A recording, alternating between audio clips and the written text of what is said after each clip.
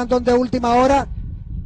Listo, si se ordenó la partida mal para Nice, la número 6, sí quedó en el último lugar. Sunlight va con Princesa Mariña y Cartagena Dreams a luchar por el primer lugar.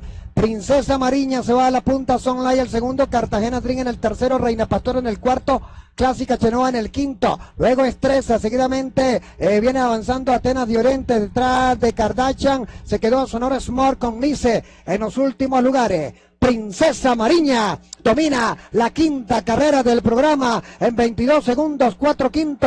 Cartagena Dream viene por dentro muy tranquilita en el segundo. Sonlay en el tercero. En el cuarto, Classical Chanoa. Cuando se acercan a la última curva, Princesa Mariña domina. Allá viene Cartagena Dream y A tratar de comprometer a la puntera cuando entran en la recta final en la quinta del programa con Princesa Mariña dominando la prueba. Insiste Cartagena Dreams por la parte exterior de la pista. Cartagena Dream contra Princesa Mariña. Se desciende Princesa Mariña. Insiste Cartagena Dream. Domina Princesa Mariña. Cartagena Dream no la va a alcanzar. Domina el 10.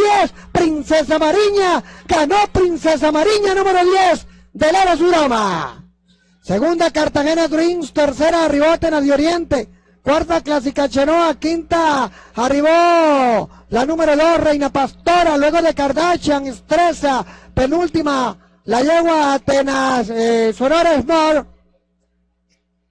Sonora Small llegó en el penúltimo lugar, última Nice. allí tienen la pizarra. Parciales de 22. Atenas de Oriente, el cuarto para la número dos. Reina Pastora y cierra el marcador el ejemplar clásica Chenoa, la número 4. Ahí está la fotografía del recuerdo. Nelson Castillo, el entrenador. Ahí está el entrenador Luis Carlos Yardinela. Sí, en esta oportunidad como gerente general de Laras Urama, esperamos verlo en la quinta válida como entrenador de la generala. Eso es correcto, líder. Ya viene la antesala hípica del guerrero Bogarín, no sea parte de sus monitores.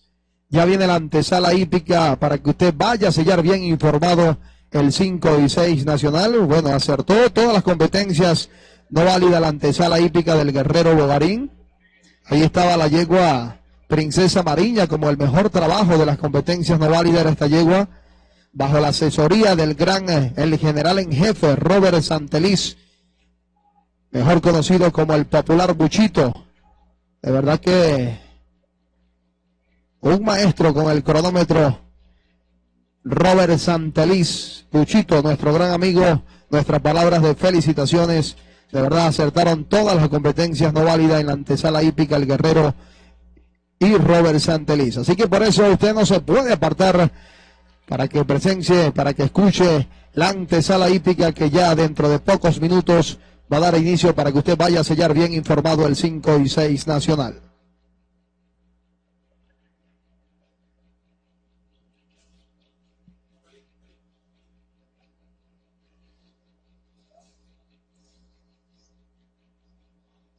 Confirmado primero para el Día de Oriente. La número uno y la trifecta.